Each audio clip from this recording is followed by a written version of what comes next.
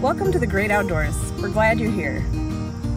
We invite you to come out and enjoy all the beauty of the great outdoors and recreate responsibly. Welcome, people of all identities and abilities, to recreate. The outdoors are for everyone to share.